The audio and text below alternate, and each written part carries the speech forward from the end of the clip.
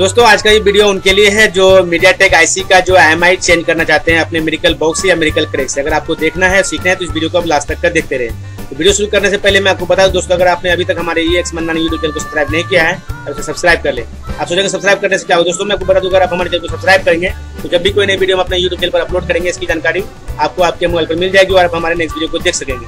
अगर आप कंप्यूटर पर देख रहे हैं वीडियो यहाँ पे रेड कलर का सब्सक्राइब बटन है, यहाँ पे क्लिक करके आप हमारे चैनल को सब्सक्राइब कर सकते हैं।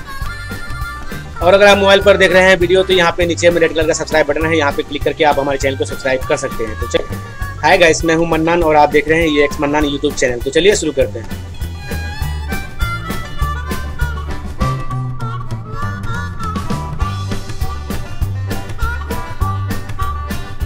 तो चलिए दोस्तों, सबसे पहले हम अपने मेरिकल टूल को जो है ओपन कर लेते हैं।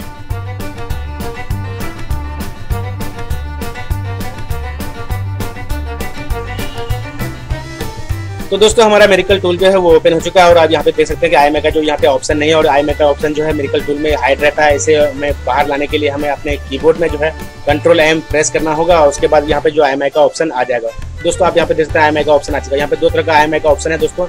एक है स्विच ऑफ़ आई और दूसरा है स्विच ऑन आई तो हम आज आपको बताने वाले हैं कि आप अपने मोबाइल को स्विच ऑन करके आप उसका आई जो कैसे चेंज कर सकते हैं। तो दोस्तों, यहाँ पे आई एम नंबर डालने के बाद उसके बाद आप स्टार बटन पे क्लिक करेंगे तो स्टार बटन पे क्लिक करने से पहले आपको अपना मोबाइल जो है बुक कराना होगा। तो अपने मोबाइल को आपको जो है ऑन कर लेना है। जिस मोबाइल में आपको आई जो है चेंज करना है, उस मोबाइल को आपको ऑन कर लेना है। जब आपका मोबाइल ऑन हो जाएगा तो उसमें आपको यूएसबी डाटा केबल लगाना है। तो दोस्तों, आप देख सकते हैं कि आई चेंज करने के लिए हमें जो अपने मोबाइल को ऑन करना है और हमारा मोबाइल जो ऑन हो चुका है। इसमें अब हमें अपने यूएसबी डाटा केबल को जो है कनेक्ट करना है और अपने सिस्टम से हमें जो बुक कराना है। तो जैसे हम इसमें यूएसबी डाटा केबल जो है इंसर्ट करेंगे और उसके बाद यहाँ पे ऑप्शन आएगा। दोस्तों, आप यहाँ पे देख सकते हैं कि मैसेज स्टोर का ऑप्शन है, दूसरा है कॉम्पोर्ट का ऑप्शन तो कॉम्पोर्ट के ऑप्शन को हमें सेलेक्ट कर लेना है। उसके बाद इस मोबाइल को हमें रख देना है। उसके बाद जाना है हमें अपने मेरिकल टूल में और यहाँ पे हम जैसे स्टार बटन पे क्लिक करेंगे, हमारा आई जो है सक्सेसफुली चेंज हो जाएगा।